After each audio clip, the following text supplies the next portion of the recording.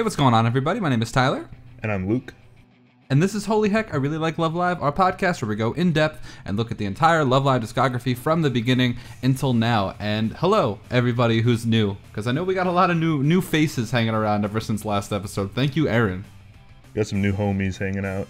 So, yeah, so I mean, if this is your first time watching without Aaron, uh, we're sad to say that Aaron does not join us on every single episode.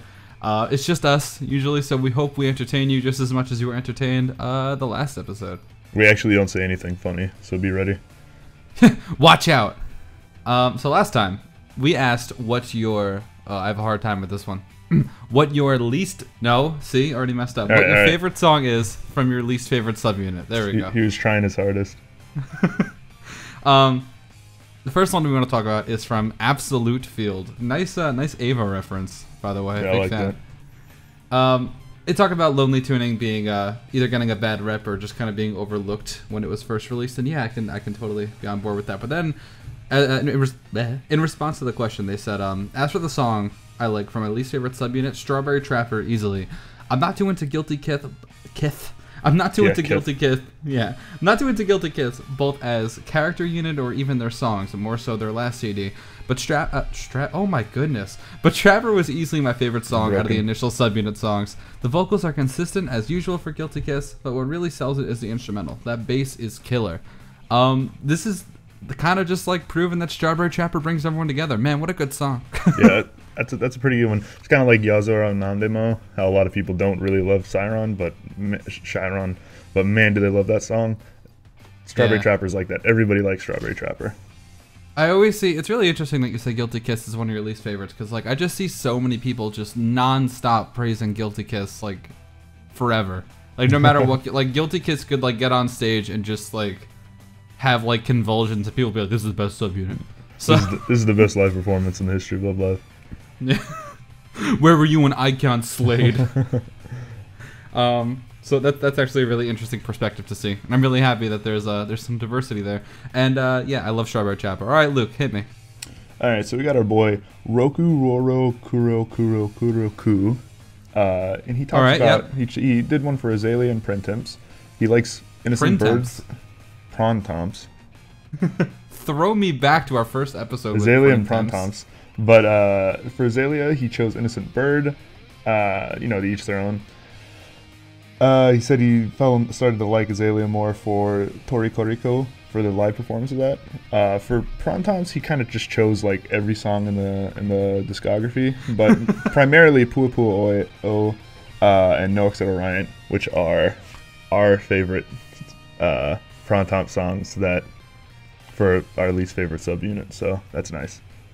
There's some overlap That's- there. Got some friends going on here. So we were going on our Blu-ray block. Uh, Aaron came in, and we had scheduled that for a different time before we kind of switched up how many episodes we wanted in, which is fine. And we kind of decided with the new songs coming out in Love Live Sunshine season two that we would try to hit them while the iron were, iron was hot. Uh, two week a week after the singles come out, the full singles, that's when we're gonna review them. Um, so just, they're just kind of interlaced throughout the next couple months, you know. And so this week, last week, the OP and the E, the OP came out and its side Yeah. song. So that's what we're gonna be doing today. We're going to be talking about those two, which I'm actually really excited about. I, I was really hyped to hear this opening. I can't say for certain, like, I, I mean, I probably know by the end of episode 12 or 13 or however long it's going to be if it's my favorite out of all the openings, but I think it's definitely a contender. Yeah, I don't it's, know. A, it's a solid contender at this point. For It's either also. this or, um, Bokarawa Imano Nakade. I can't say that without singing it. The uh, the first one ever. I Yeah, really like that one. Land. Okatu Land, yep.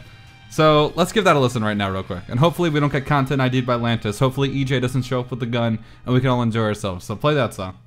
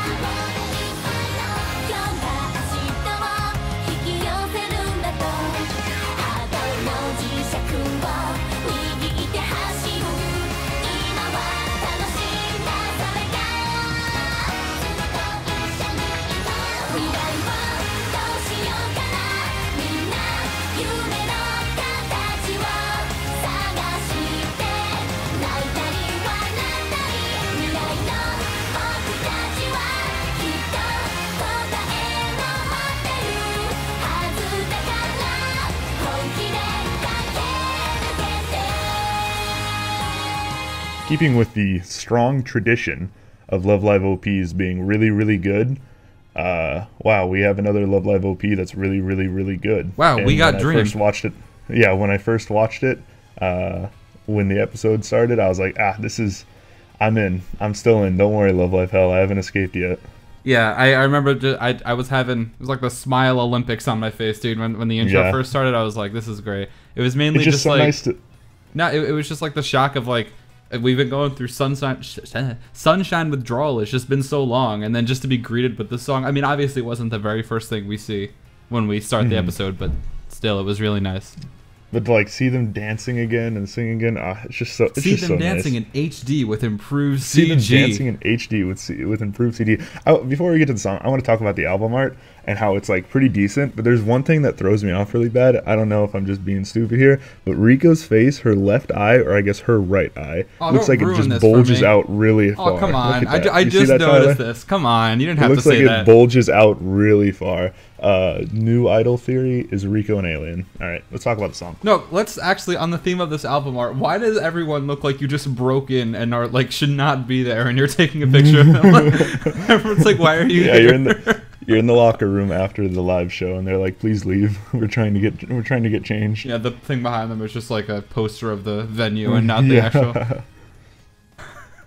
So song is like uh, very much so what we expect these um these OPs to be. Right. The first verse and the first the first minute and a half that fits into the TV version is very much so like a group song. Yeah. They split into they split into the year groups a little bit um, for some parts, but and then the second verse is all solos. Yeah, that, that's what I was going to talk about. Yeah, Yeah. how it, it's exactly what you said. Like it's it's exactly what we've come to expect. It has the same intro vibe that we have in every single other intro song. Um, which Yeah, is which the- is a good and bad thing. build. See, no, I think it's a good and bad thing. I think it's a good thing because it's it's a really good intro. Like when you're watching the show, it's like something that's Oh, like yeah. it's really good OP, but a little bit negative because I talked about this in a uh, in a previous episode, and I, I I think I might be the only one. I don't remember if people were agreeing with me or not, but like there's something about intro songs that make them really weird to listen to, in the context of not starting an episode of Love Live. Do you like at least understand what I'm talking about, Luke? I, I, I agree with that to an extent. Uh, specifically, these intro songs, like uh, Love Live J-pop, these J-pop intro songs. I'm I'm I'm for saying that. Now, Shonen Battle anime openings, I'm in. Oh yeah, no, I, I listen to that like all the time, but that's just because. Well, I think we actually talked about this exact thing when we talked about that before, because like that's pretty much like the only song in the. an- I mean, obviously the anime has a soundtrack, but as for just like big theatrical songs that you're going to listen to, it's usually just going to be the intro or the ED. But Love Live is based around music, so it's just something. Yeah. There's just like a distinction between listening to the actual OP and then listening to like a a, you know a single or whatever. I think I think what it does is when when you listen to the songs in the episode, they only happen that one time. While the OP and the ED kind of lose how special they, they are, they're not really super special anymore, even though they can be really good. I think this is the best, the best OP, um, but it does follow that formula that all the OPs are built upon. I think I know what you mean. Yeah, that that's that's that's a good way of putting it. Like the just It, it, it's weird because when I first listened to this, I was like, "Man, this is a real good song." I was like, "This is this is gonna be so good." And like, obviously, I've watched. it- We're only four episodes in, and I've watched the OP every time, but it just kind of loses. It's not. It's not hyper special to me anymore. Yeah, now it's like, oh, it's Saturday. It's time to watch Love Live. It's not like this Yeah. this Saturday coming up. Like you know what I mean. So This Saturday, in a Royal Rumble, in a steel cage. in the locker room that we're not supposed Alright. to be in. Shout out to the album art.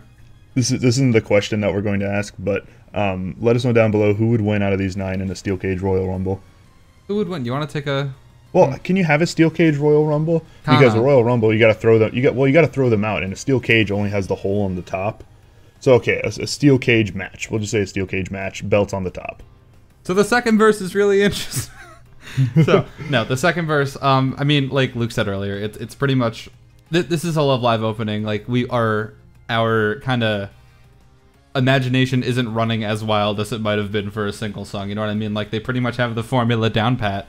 Like the first, like the it, it sounds like an intro because all nine girls are screaming at you, and that's that's like what the intros are.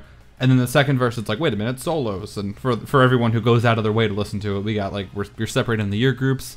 Uh, we started out with Riko and You, and then we go to Hanamaru, Ruby, Yoshiko, and then I think the order is Kanan, Diamari. Diamara might be switched, but but yeah. Um, so that, that's I think that's pretty right. Um, I, I- think what this song does that's really cool though is that third that the, right right at the end that final bridge where it, the instrumental kind of like drops out a little bit and let Chi, lets Chika just take Yeah, over. I was really something mention that, yeah. any of this any of the uh, OPs have done quite as well. Yeah, I got done it at all. major, major, major Mirai Ticket vibes from that part. Like, so Mm-hmm. much so.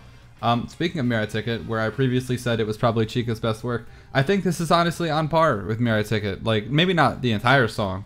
I mean, I do think she sounds really great, but just that little solo at the end. I, I love Chika's Mirai Ticket solo, and I think that little tiny mini solo at the end is one of the best things so far. So, and also Mm-hmm. at the very end of Chika's line, like she has like her little "Mina, na, na, na, na, na, na." the very last thing she says is uh Mina de, and that does not sound like Chika. Like Anchan just let it all go, and that's Anchan singing those last two words. Like I, I hear it every time, and I love it. It sounds so great. You can tell she was into Yes. it, so into it that Yeah. she forgot to do her job.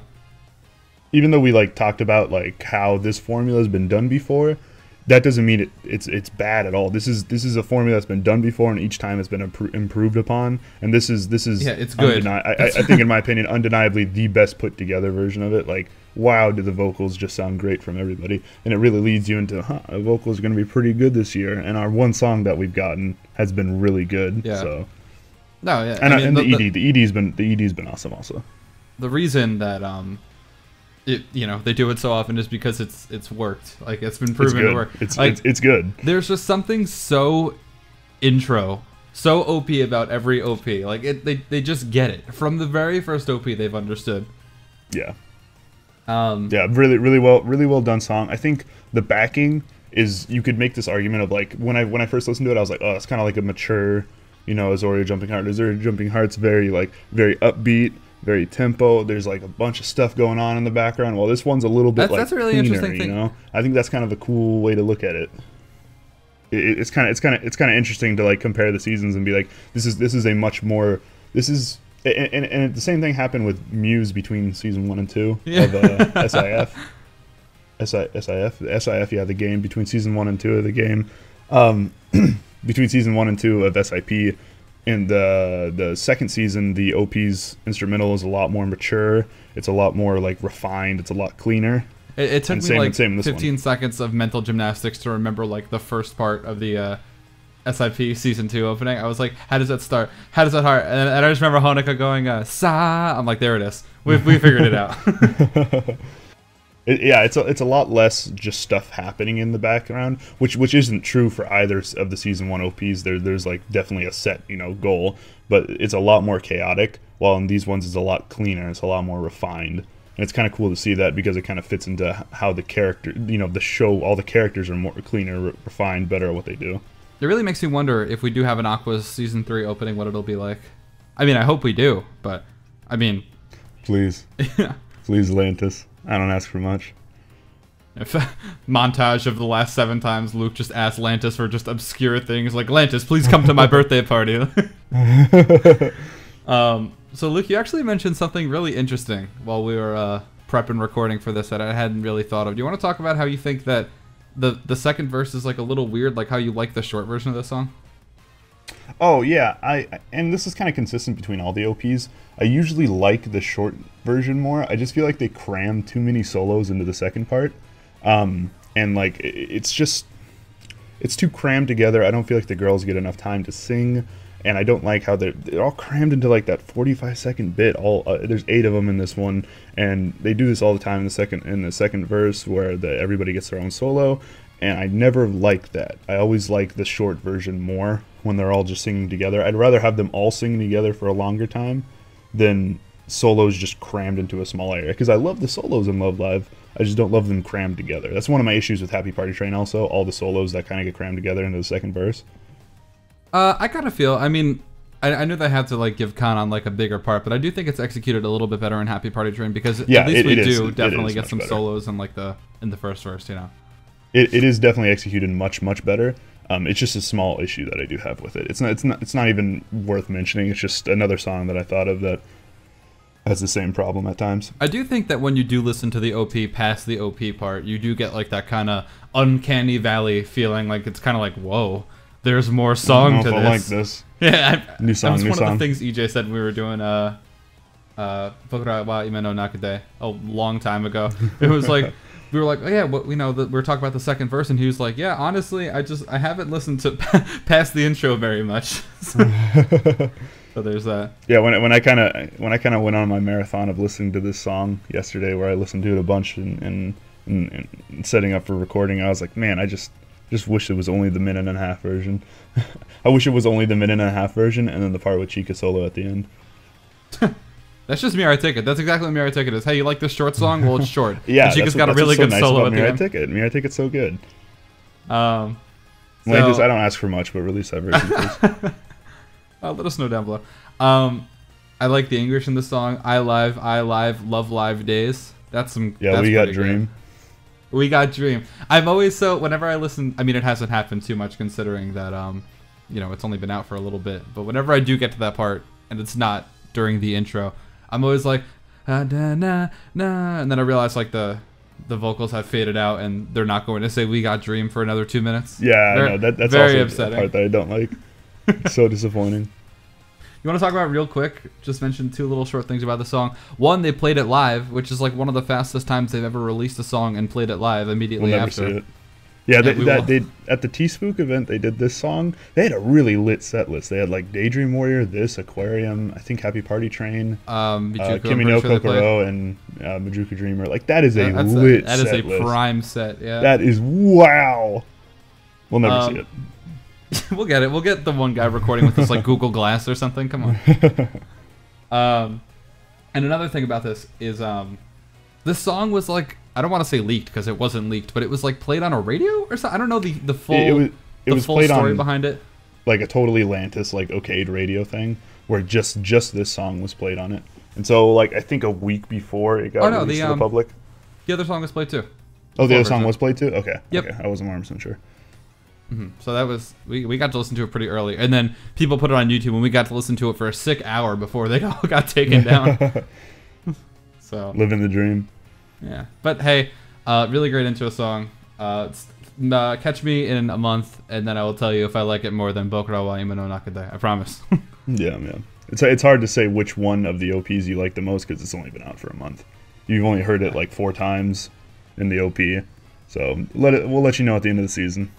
Almost every time I have an anime where it's like I listen to the intro, I'm like, this is good. As soon as I get to the end of this season, I, I realize that I'm only gonna hear this intro like one or two times, and like at that moment, it grows on me super hard. So when I realize I'm only gonna hear the song one or two more times, and you know, that was Mirai no Bokura wa Shitteru yo. After we Luke and I, yeah, we've just been sitting here for a minute. We're like, all right, we're ready to talk about the next one, and Luke was like, wait a minute, did we did we mention the name of that song at all? It's overrated. Names are there's overrated. that one. um, but anyway, so here's Wild Stars 2, aka Kimi no Hitomi o Meguru. Oh, Jesus, cut off on Vimeo. Oh, it it's cut off on, Vimeo. Hold on. Cocked again. All right, I'll entertain Uh, them while I got, it, I got, it, I got. it. Okay, you got it. Hold on. I'd like to say my fantasy football team is five and two. We're doing very well. South American Water Buffalo champions this year. So here's Kimi no Hitomi o Meguru Bouken, which is the next one, making sure we get that name in before we completely forget and everything is ruined. so yeah, here's Wild Stars 2.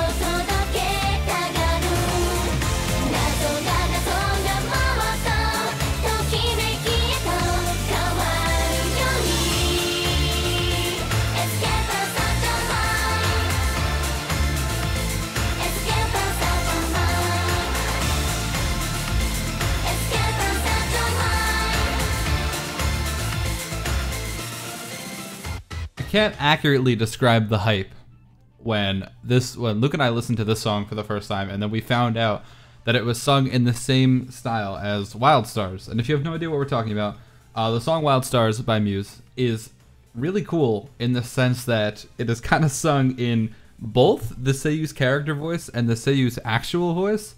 And I mean, they, they go pretty crazy with it in the solo mix, but just generally speaking. And then when we started listening to this one, we were like, wait a minute, hold on. Like, it's it's not entirely confirmed that these are Seiyu voices, but they they sound awfully like Seiyu voices and not character voices.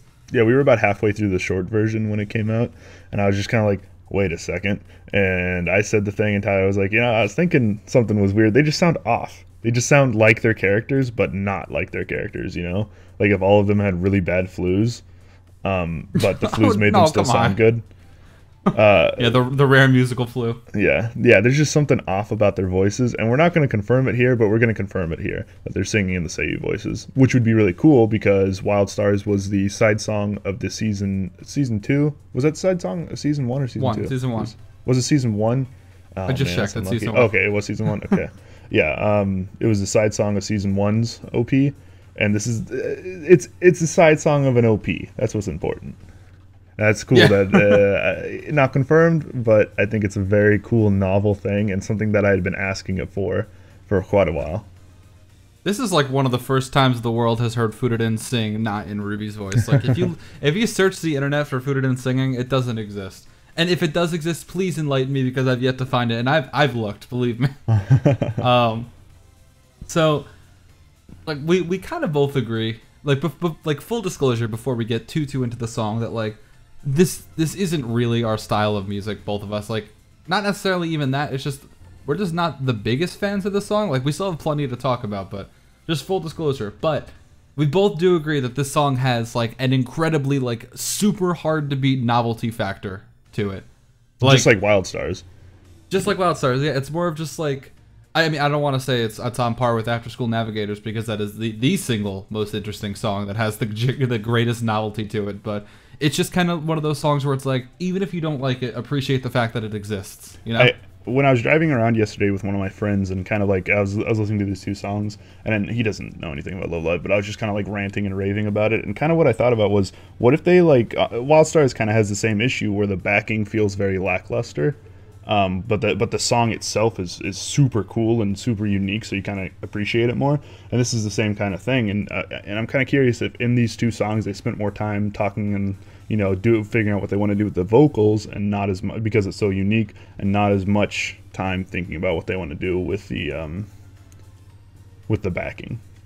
What if it's like a uh, a backwards kind of thing where they were like, all right, let's uh like they had the back and they're like, this isn't good enough. We got to do something flashy. Like, hey, everybody sing different. What if the Seiyus just came in and accidentally sang it like this, and they couldn't figure out how to do their their character voices that day? So they were just like, okay, just do it. Yeah, it. there's just do something- like this is fine. There's just something mystical about this song. Like they're they're all just unable to sing it in their character voices. That's that's it. Yeah. Yeah. the song's Um, haunted. Happy Halloween, so- everyone. Oh yeah, this is like the the post Halloween episode. Happy Halloween. um, I wanted to do like a Halloween theme last episode, but last episode it was kind of like Aaron themed, so that would have been a little weird. Like, hello, welcome to our Halloween themed podcast. Just throw like a witch hat on top of Aaron's little logo or something. But um, this this song's really weird in the sense that it has a lot of really really unique things going for it that kind of get drowned out in the blandness of just the rest of it. Do you know what I'm trying to say? Like, Yeah. th- there's a lot of like really. For example, this is a baroque song. You guys ever hear of baroque? That's a that's a genre. Go play some kind medieval of bread? game. No, it's. okay, Um, it's let's- cheese. let's- okay. yeah, sure. Let's talk about. Let us know down music. below what your favorite kind of cheese is. Um, so you know, like if you ever if you ever watch like a fantasy thing and they go to the ball and they play that music that sounds like it's played on an old fashioned piano, which by the way, that old fashioned piano, the harpsichord, is actually in this song. Please name another Love Live song that has a harpsichord in it. Um, Can we get a Love Live song with Gregorian chanting? um, yeah, that's uh. I tried to think of one to be funny, but nothing came up. I can't yeah, yeah. There's not joke. one. There's not one. I've been thinking about it for the last ten seconds, and I was like, "There's no, there's none." Go on. Oh, Um, sorry. So I don't know how we can have like a song with harpsichord in it and a song that sounds like we're stuck in Dracula's castle at some point in the song, Mhm, yeah. and not and not have this be the most interesting song. It's just so weird how they just have it in like a sea of just common Love Live song tropes, you know?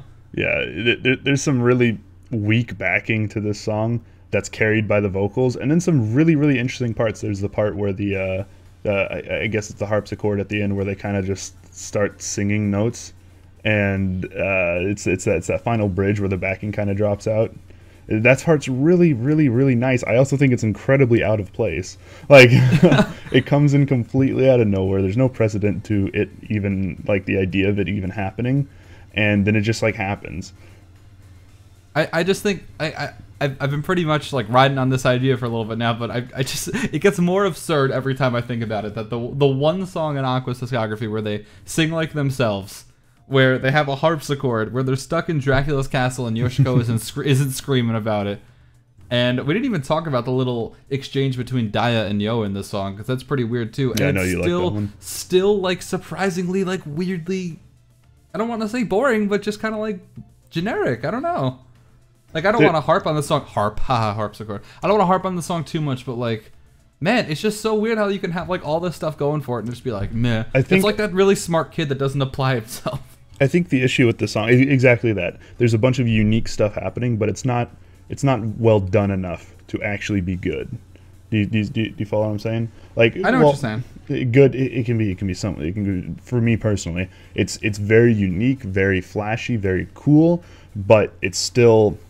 You can have a unique pile of trash and it can still be unique, but it can still be not good. right? Obviously, that's a little too far of a. Uh, that's that's this isn't a pile of trash, but you, you see what I'm saying. I Trash was the first thing that came to mind. I I know I know you didn't mean it. We're good. Um, or maybe you did. This song's still in my top half, like of Love Live songs. Like this is a song that I will listen to. I don't think this is a bad song by any, any stretch of the imagination. I just think it's really like But yesterday, when I heard it ten times in a row, I decided by about Maybe- the fourth time, I was like, ah, I don't know if I actually like this song. You know, maybe. Okay, so everyone who's been here for a while knows that I'm in love with GMOI, and Luke is mad at the thought of GMOI because it's not precisely what he wanted in the song. And like, you agree that it's a, it's like a good song on its own merit, but Oh, yeah, like Gmo the, the awesome. fact that, but the fact that it's not what you wanted is kind of like that's what brings it down for you. Yeah, yeah, Gmo I is awesome. I maybe that's why I'm not a big fan of the song so much. I just had this epiphany while we were recording live. Like I I just want so much for the song. Like eh, they they have because I, I say it in like every episode, but I love when Love Live songs are just incredibly incredibly unique, and this song has that uniqueness. It has it right there. It's just like please do something with it, and then they do this. It's like ah come on, you could have done a little better. That's just how I feel about it. It's like it's like giving the best material to an unskilled craftsman, right? Do you see what I'm saying?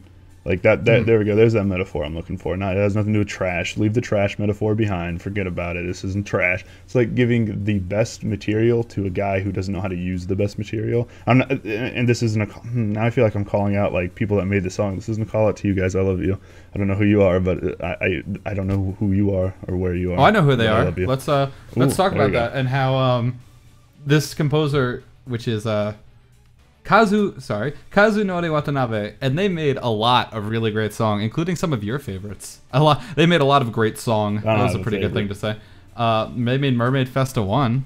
That's, Fiesta. That's Mermaid Fiesta one. Yeah, they would Natsu Oranaide, which is one of my favorites. Um, and they did a lot of other stuff for Aqours too. Like they did uh I wonder how many people are listening now and don't know the Fiesta to Festa reference. We're gonna keep making it. oh we got we got a whole bunch of new people so. Go watch our first Uh, episode. But they have a lot of like hand in hand. Mijuku Dreamer, that is that is my single favorite, and it's just like this person just made. They're, they're both listed under the composer and the um, and the arranger. So it's just weird to see that this, like, they they know how to make a good song. Like they've proven time. They they made Mijuku Dreamer. I mean that's like an argument in itself right there. Like they they made what I consider the single best composed song in the entire Love Live discography. So it's just kind of like we know you can do so much better. In No, my but- personal opinion, like if you love the song, then please tell us how wrong we are and just keep loving the song forever and ever. Like that's super cool. Yeah, call us just- idiots. Let us know down below but- if we're idiots. But just for me personally, it's just like I, I just feel like they can do a lot, a lot better. Yeah, song kind of falls flat. Um, there, but it has it has really strong moments and it's incredibly unique. But it unfortunately just doesn't just doesn't get it done. For me personally. Well, and for me personally, anyone else get a uh, "But Now September Rain" vibe from this song? Like the last uh, the, the the words that are repeated constantly in uh, Chika Kanan's summer vacation song. But now September rain. Like it's kind of like Sleeping somber. For stop it. It's kind of like slow and kind of like I don't want to say morbid because that makes it sound like you're gonna die or something when you're listening to the song. But it's just kind of like slower, more somber, really kind of uh, like a, it's kind of just a song in minor, like just just a general idea. It's very but now September rain to me. Wake me up when September ends. Wake me up when season two ends, so that I can marathon it all and not have to wait between every week. I know. I feel so spoiled because I like started watching Sunshine like right after it ended, so it was just like, all right, the next episode, here we go. um, but yeah, so I think I think it's a good song. I think it's definitely in my like top half of the discography too. Like I don't by any stretch of the imagination think that this is a bad song. It's just not a, a great song that I wanted it to be. It's like you have all the tools to be a great song, but it ends up just being a pretty good song. You know? Yeah, exactly. Yeah, this is this is the um, this is mm, I don't want to say the Ryan Leaf because Ryan Leaf was a complete bust. Uh, let me tank on this for a second. I'm trying to think of a guy who was incredibly skilled and gifted but didn't make it. I, you know what? I'm gonna come back to this. Ooh, this is the Andrew Bynum of Love Live songs. There we go. Yeah, you you heard it here. I know what that is. that's a that's some that's some good sports ball reference right That's there. that's some sports ball. Although this song probably tried and Andrew Bynum didn't. Uh, you know what? I'm. What's our question? So our question for you guys this time is what is your favorite like really unique song in the Love Live discography, right? Like we, we talked a whole lot about uniqueness this episode, except what we didn't in the uh in the first song. We're like this Well- is this is standard. I think. Well, I think that's a nice juxtaposition. We talked about something that's more cookie cutter and formulaic compared to something that's much more unique. I agree. Luke, what, all right, so we usually we don't usually do it, but sometimes we like to split up between Aqours and Muse. So Luke, you're gonna do Muse, I'm gonna do Aqours. So Luke, what are you, what are you thinking here? I guess this isn't like one Muse song. I guess it's not really like it has Muse people in it. But I'm gonna go After School Navigators. We've talked about the song before and how incredibly unique it is. Just oh, it's so it's it's so unique that it like pushes aside that it just tells the other the other song on the single to go away. Nobody likes you, even though it's really good. Um, this is just Or listen to my heart. yeah, listen to my heart's really good, but After School Navigator is so incredibly unique that it just it just blows everything else away. I think arguably the most, probably the most unique song in all of Love Live. Yeah, that's what I said before. I completely agree. I think it's totally the single most unique song in the entirety of Love Live. And it's talking about what food we're gonna go eat. I know, right? That's the best part. Unless we get some like, like, I don't like avant-garde like harsh noise. It, it's gonna it's gonna be the king for a while. Unless Aqours really uh really pulls out the guns here. So I picked GMOI because I I think it's we've gotten like summertime happy songs before. I mean like look at. We, we had Mermaid Festa and um, One Two Jump like right out of the gates. Like they were like, "What songs do we do?" I know, like Summer Happy Fun Time. So that's not too new. Mermaid, the first But- Mermaid Fest is not very like summertime happy sounding. Mermaid Fest Volume Yeah. Two is, but okay. Yeah, on. but still. But um, I, I just I really like the uh the kind of like acapella like you, cover on YouTube ukulele style of GMOI. I think it's fantastic, and I guess I don't really have a full unit Aqours song either. But hey, um, no, I, I from the second this happened, I remember we talked about it in the uh in the episode where we listened to the summer vacation songs, how this song started. We're like, haha, this isn't the Yo Yo Shiko songs. They're going out of order, silly Lantis. And then it ended up being in order. We're like, wait a minute. Hold on. This is not what we thought. And I ended up liking it, and Luke ended up getting mad about it. I, I really like it. It's a really good song. but, um, yeah, I- I just think- sleeping on this song. Gmoi's Gmoi's instrumentation is just so incredibly unique. It's so light and fluffy, um, even though it, it's got it's got instruments that have never been used before. So it's very cool. Steel drums, seagulls. Yeah, steel drums. Yeah, seagulls. Whoever thought that the seagull instrumentation would be the would be the goat? Let us know down below. Actually, no, really, for real. Let us know down below what your um what your favorite really really unique song is in the Love Live discography, and let us know why. You can uh you can join the uh our pack of goons, our Dextroid fillers, our sticks, our mediocre meteorite and mid colas who comment on every single video. MVPs. I'm hyped to, to, to grow the family here. This is pretty Raul great. Alvarez. Raul, how could I forget Raul? I didn't forget you, Raul. The guy who's got the general as his picture. I can't think of her name.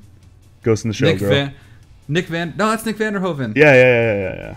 Raul Alvarez has uh, has your score. Yeah, right no, now. no, I, no. I'm thinking of Nick Vanderhoven. I just couldn't remember his name. Well, I didn't forget you, Raul Alvarez. No, I said I said Raul Alvarez also. Goodbye.